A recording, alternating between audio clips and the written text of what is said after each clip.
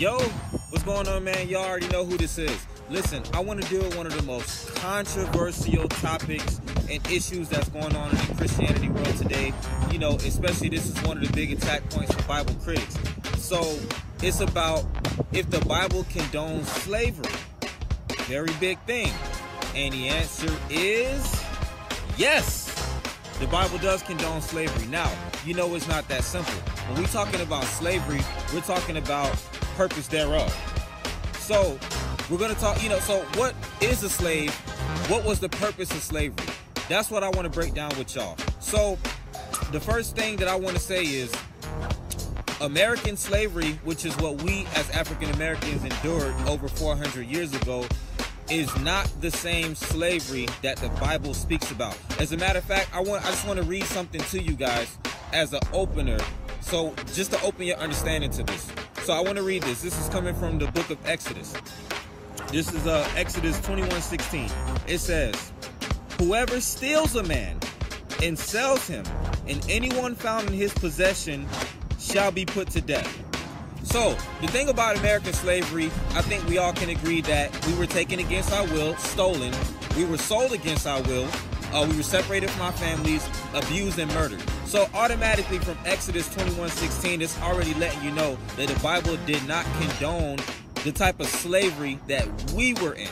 So, matter of fact, the purpose and the point of slavery, believe it or not, was to actually help the poor and help people in debt. So, this is what slavery really was. Back then, we didn't have government loans. We didn't have, you know, uh, uh, credit agencies and stuff like that.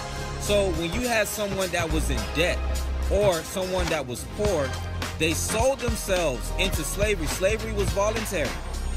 They would, if a person was poor, they would find someone that was wealthy, financially stable, who could take care of them, and they would sell themselves to that person and have that person take care of them and they would work for them not as a slave, but as a hired worker.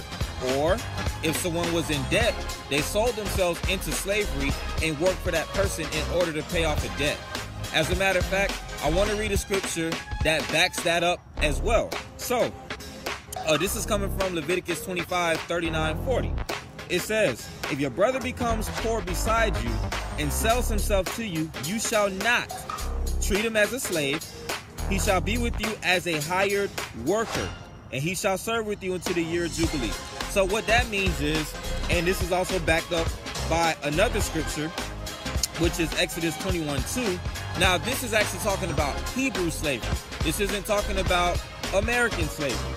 And in Exodus 21 2, it says, If you buy a Hebrew slave, then that slave will serve for you for six years, and after six years, he will be free and have nothing to pay. So that's letting you know that you're setting the slave free after six years. He has nothing to pay. So that's letting you know that he's already cleared a debt. So the thing about it is, not only did you have to set the slave free after six years, but you also had to give him things to support himself. Let me justify that with scripture. So, Deuteronomy 15 13, it says, And when you let him go free from you, you shall not let him go empty handed. Already, this is a big contradiction to American slavery. Now, some people they served as slaves for lives because they had an option to. Remember, slaves was voluntary.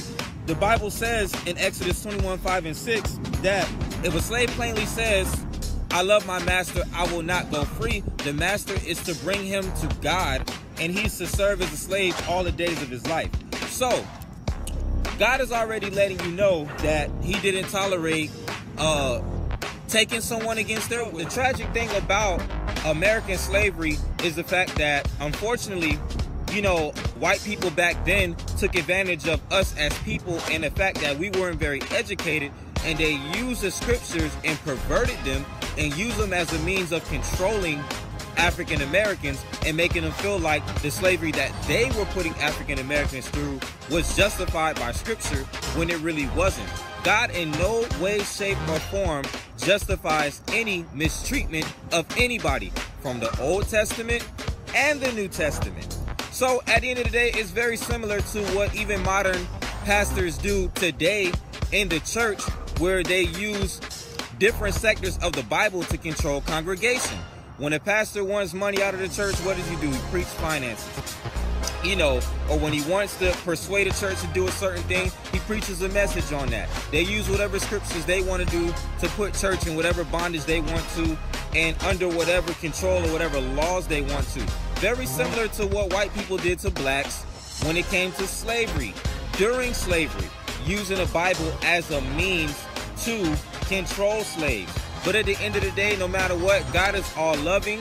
Um, God makes no mistakes. God is perfect in every way. So at the end of the day, I hope this opens a lot of eyes. I hope this sheds some light on a lot of people who maybe one foot in and one foot out, maybe wasn't sure about if they should be all in with Christ. No matter what, man, Jesus Christ first. Um, the Bible makes it very clear that through grace alone, faith alone, in Jesus Christ, that is the only way that we're saved. Remember, nobody comes to the Father but by Him. That's in John 14, 6, man. He already paid the price for us, man, no matter what, except Jesus Christ. I thank you guys for watching. I love each and every one of y'all, man. Peace out.